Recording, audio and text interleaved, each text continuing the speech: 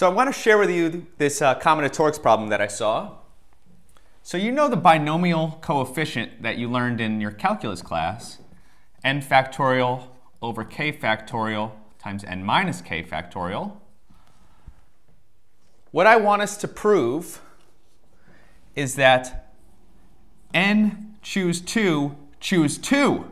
Okay, so a binomial coefficient inside of a binomial coefficient is equal to 3 times n choose 4 plus 3 times n choose 3. Okay? So pause the video, try it on your own, see if you could find a solution. And when you're done trying, come on back. All right, welcome back. So the first thing to note, we're not going to use this formula for the binomial coefficient. It's going to get too messy. Okay, what we're going to do is we're going to provide a combinatorial proof. So the first thing to note is that the binomial coefficient n choose k is equal to the number of k element subsets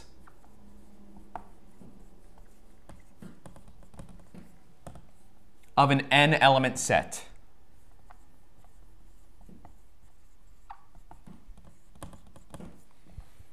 Okay? Uh, let's write out a quick example so you could believe that. So for example, uh, 4 choose 2. So that's going to, well, you could compute that using this formula. It's 6. But let's list out all two element subsets of a four element set. So let's list out the two element subsets of the numbers 1 through 4. That would be uh, 1, 2,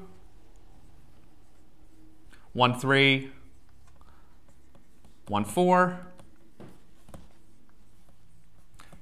2, 3, 2, 4,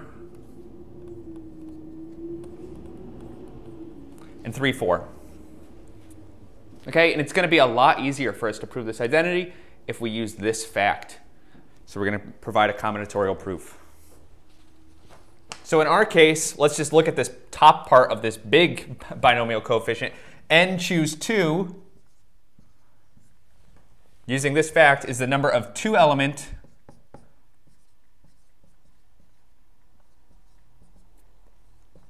subsets of what we call bracket n, which is just the numbers 1 through n. Okay? So here we have, this is the number of two element subsets of bracket n. So the next fact that we're going to use, or the next observation, is that n choose 2 choose 2. So this left-hand side of our equation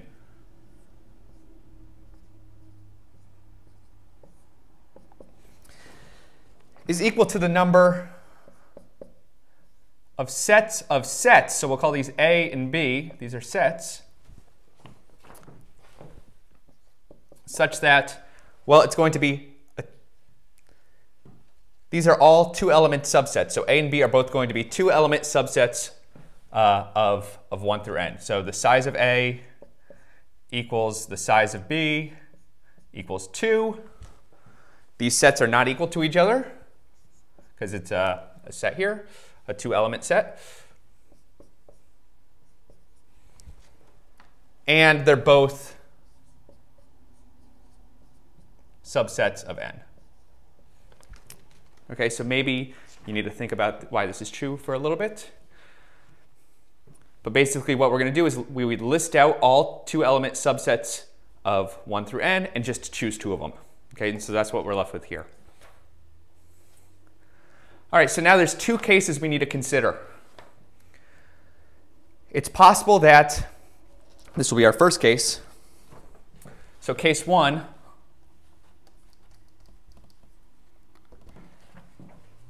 A and B are disjoint. So A intersect B uh, is the empty set. Okay? And so let's count the number of ways that this is possible. And hopefully when we count it, we get something on this right-hand side of our equation. Okay? So if A intersect B is the empty set, A union B is equal to well, let's just call it A, B, C, D. It's going to be four elements because there's no intersection. Is a subset of n. Okay? And there are three different ways that this could happen. You know, without loss of generality, we could assume that A is in the set A. So there's three ways this could happen. It could be AB unioned with CD.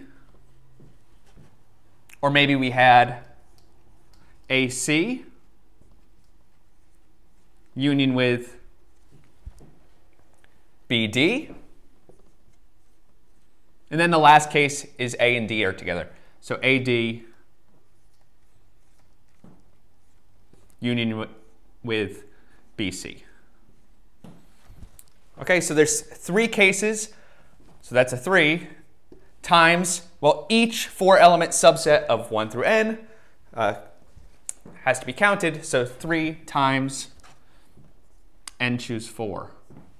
Okay, so case one happens three times n choose four times, which is exactly this term here. That's great.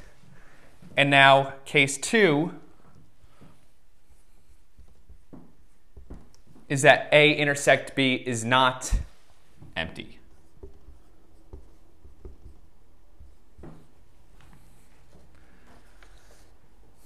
Okay, but we said that A does not equal B. So the size, so in this case, the size of this intersection is 1. Okay? So we can't have a total, uh, they can't be the same set. But they could overlap with one element. Their union, A union B,